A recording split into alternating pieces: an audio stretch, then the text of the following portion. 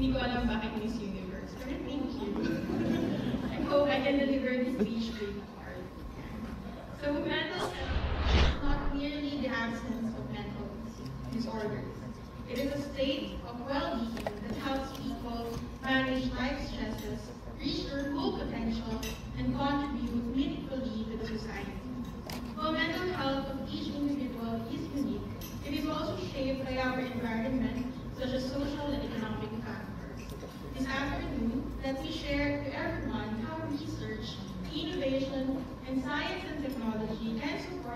protection and overall improvement of and mental health of the country.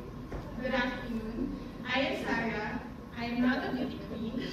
I am a pediatrician with passion for neurodevelopmental disorders, mental health, and public health research. My interest in these fields deepened during the pandemic, a challenging period that highlighted the critical role of mental health for all of us. While my clinical work is fulfilling, I realized that public health research allows for a broader and more profound impact, benefiting not only individual patients, but also communities and society at large. The journey began when I joined the Brain and Mental Health Research Program at the U.S. Philippine Council for Health Research and Development, or PCHRD, through the S&T Fellows Program. Working at the Council has provided me the opportunity to collaborate with leading mental health experts, and together with a dedicated team, we published important works and supported the development of mental health researchers across the country. Our program has strengthened partnerships and national agencies advancing mental health by generating evidence-based mental health policies and programs in the Philippines. Our efforts have significantly increased the number of supported R&D projects for mental health across the country. These projects are expected to make contributions to the improvement of our health systems, with some already being translated into policies that will enhance mental health services and care, especially for the vulnerable population. But as an S&T fellow, we understand that there is still so much more that science and technology and innovation can do to improve mental health and the overall well-being of our people. The brain, after all, is one of the significant biological components of mental health. With the support of PCHRD, we look into strategies on how we can further utilize S&T to improve brain health research and development. And like any thorough researcher, our team began by assessing the state of neuroscience research in the country. We collaborated with various government agencies, universities, hospitals, and experts. Through these engagements, we identified significant gaps that are needed of support. Diseases are among the leading causes of illnesses and death in the Philippines, and yet investments in basic and clinical research remains limited. There is a clear need to empower clinicians and scientists by fostering collaboration and enabling them to develop solutions for research and development. As the U.S. EPCHRD is the lead coordinator of health research in the country, we are committed to addressing these gaps with establishment of the Philippine Brain Research Agenda.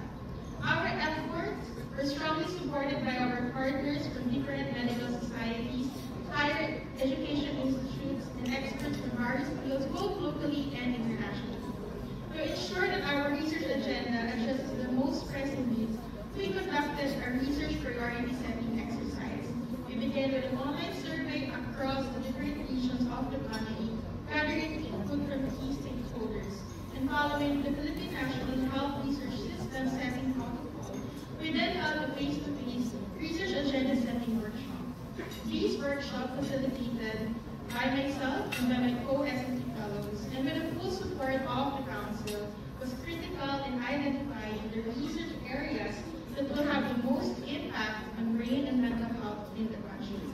Eventually, we were able to launch the Philippine Brain Research Agenda, which was also anchored to the National Unified Health Research Agenda and harmonized National Research and Development the importance of research agendas? Research agendas are crucial, especially for countries with limited resources. It ensures that the actual needs and gaps in key areas are addressed. Research agendas help allocate funds and efforts efficiently, maximizing the impact of research investment. across multiple stakeholders, ensuring alignment and collaboration. It serves as a guiding framework for advancing science and technology. You see, a well-established health research agenda boosts innovation, strengthens health system, and ultimately protects the Filipino people. Most it reflects a commitment to sustained support in the improvement of brain health through research and development. And with the creation of the Philippine Brain Research Agenda, our program has gained local and international recognition. And most importantly, we were able to support multiple neuroscience research in the fields of autism, brain tumors, dementia, and notably in the country's first ever brain mapping study for dementia. We expanded the country's international network and hosted the first brain and health RNA symposium, creating a platform for clinicians and scientists to collaborate. This was contributed to a more conducive research environment, enabling the generation of R&D projects aimed at improving brain and mental health of the country. Now, before I end, I mentioned earlier that it was the S&T Fellows program that provided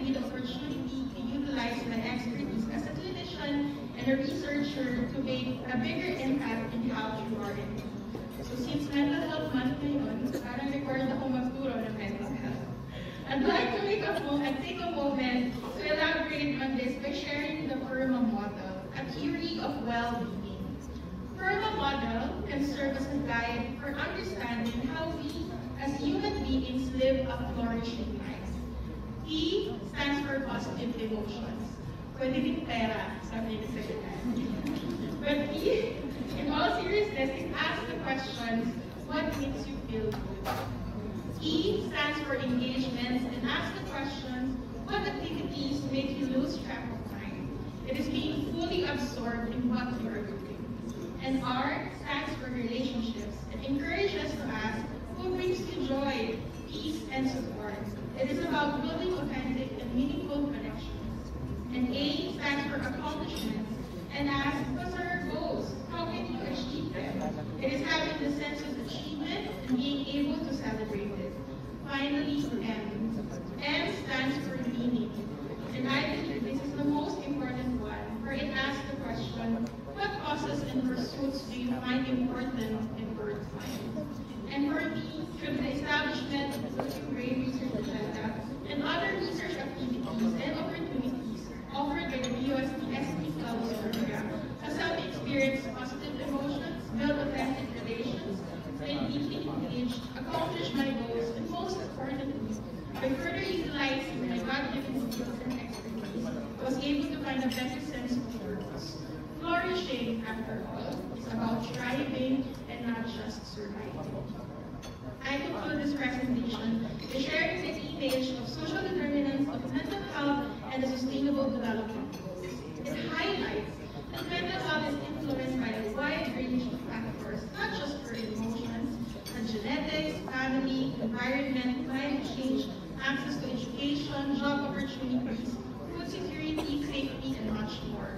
Research, science, and technology innovation are powerful tools that can drive progress in all of these research, in all of these areas, ultimately protecting and supporting mental health of individuals and society.